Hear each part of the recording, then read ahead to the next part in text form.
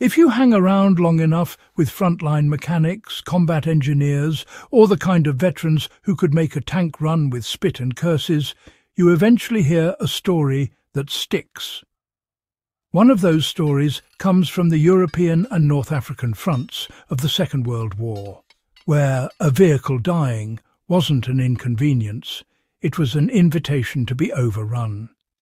Engines overheated constantly in brutal terrain, and when the enemy was pushing, nobody had the luxury of proper parts. What soldiers needed was a way to keep a truck, carrier, or even a small armoured vehicle moving long enough to stay alive. Out of that desperation came one of the simplest and smartest battlefield improvisations you'll ever study. The field radiator, built from nothing more than rocks, water and a willingness to stay calm under fire. You don't need to romanticize it. The practicality alone is gripping. This wasn't theory, it wasn't training ground cleverness, it was something men relied on when metal had cracked, coolant had drained, and the convoy still had miles to cover.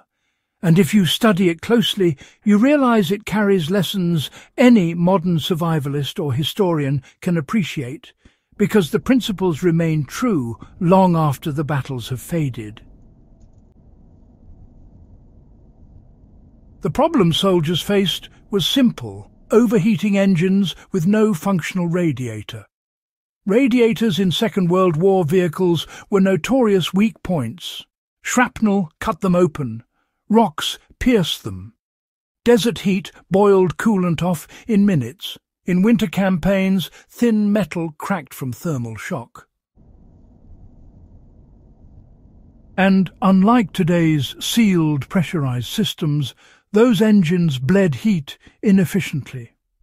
Once the coolant leaked out, a vehicle usually became a dead weight. Crews often found themselves stranded with an engine that could technically still run, but no way to keep temperatures down. This is where understanding the physics of heat transfer became a lifesaver long before anyone on the ground would have used terms like conduction efficiency or thermal mass.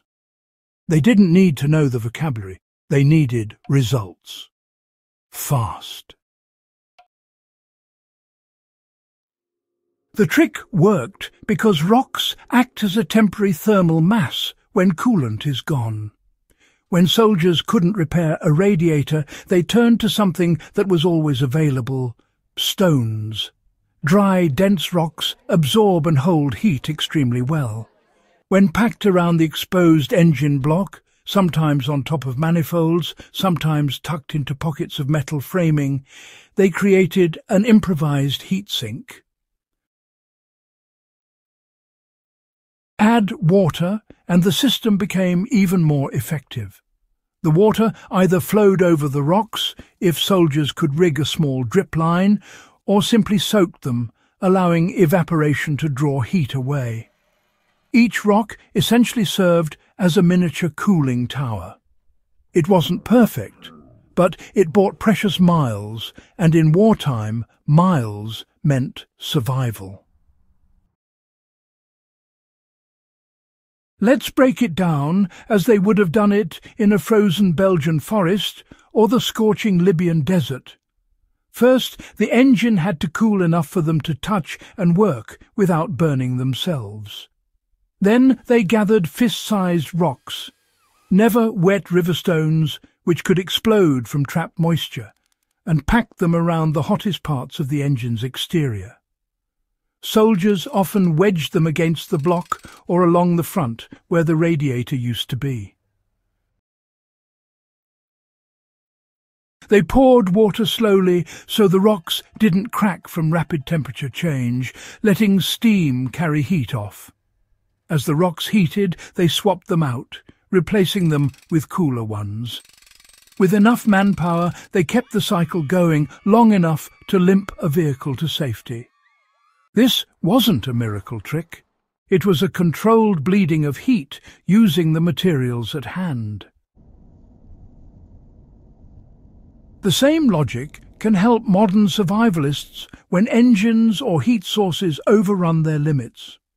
If you ever find yourself relying on equipment in a remote environment, be it a generator at an off-grid homestead, a small dirt bike engine on an expedition, or even a wood-burning stove running too hot, the World War II trick still applies.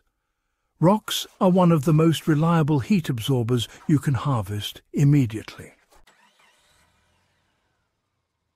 If an engine begins to climb into the danger zone and coolant is leaking, you can temporarily cool the block externally the same way soldiers did, add thermal mass, apply water slowly, let evaporation do the work.